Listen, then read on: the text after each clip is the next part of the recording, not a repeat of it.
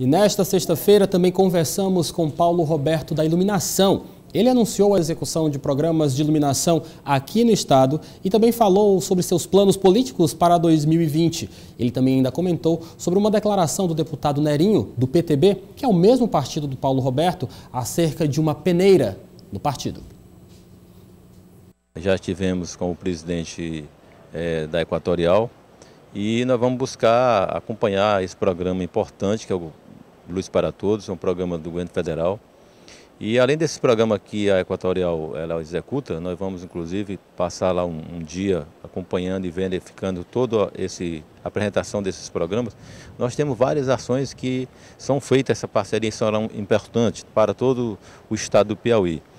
É, a, a, luz, a energia, ela gera, traz riqueza, traz vida, é né, importante. E nós temos aqui mesmo em Teresina e em vários outros municípios problema de gambiarra que também é um problema sério, que isso afeta, inclusive, às vezes, aquelas pessoas que contribuem, que pagam.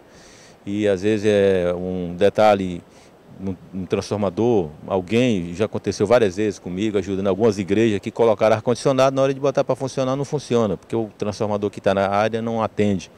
Então, são essas atividades que nós vamos fazer das menores para as maiores, que são importantes, às vezes você faz centenas de pequenas ações, mas que são importantes para melhorar a qualidade de vida daquelas pessoas, isso é, é um ponto importante. Então nós queremos fazer esse elo de ligação do governo do Estado com a, com a Equatorial para que a gente possa é, mostrar e levar essas atividades, que é uma das missões que o governador quer, exatamente fechar, universalizar todas as famílias, todas as pessoas do estado do Piauí, hoje em torno de 25 mil, que possam ter a energia. Seu plano político para 2020?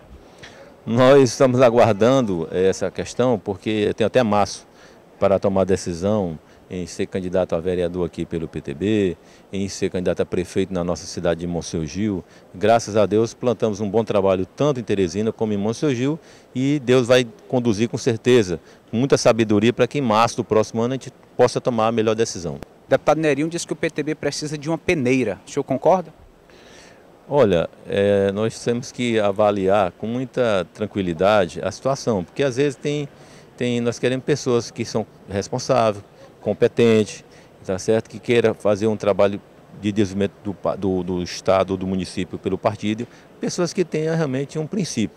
Eu acho que a gente colocar pessoas que já foram presas, que fez estuprador, então eu acho que ele deve estar se referindo a pessoas que não têm adequada situação para representar qualquer partido.